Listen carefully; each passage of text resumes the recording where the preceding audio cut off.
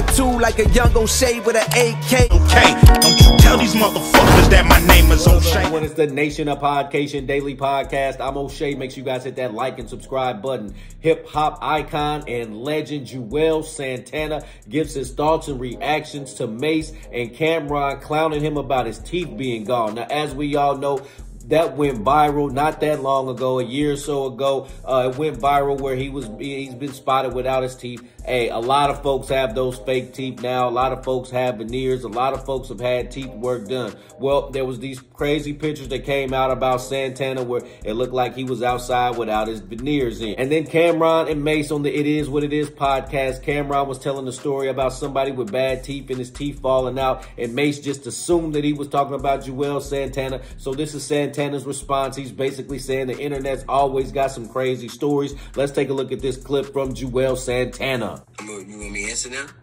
Yeah. All right, cool. So that video, I don't, I don't even know where. Flat. Why? Let's. This, this is why I say the, the, the stupidest shit on the internet. Why would I be in a video shoot with no teeth in my mouth?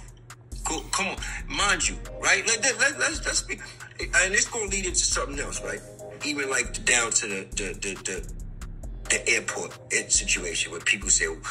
First thing they say is, why would you go? Let's come on, let's use the common sense. Not only that, I'm on a video set with my brothers, Jim, Cam. We all shooting a video.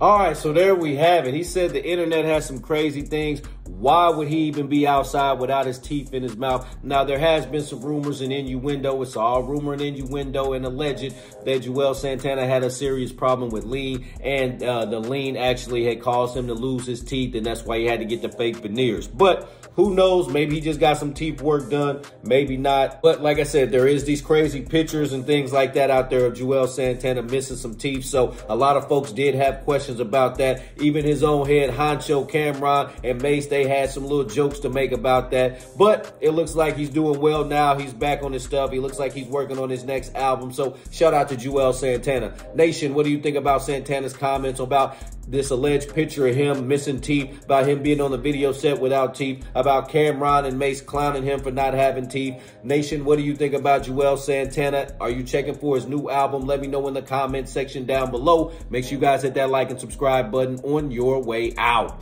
Hey. And I have been kicking it strong for a minute now.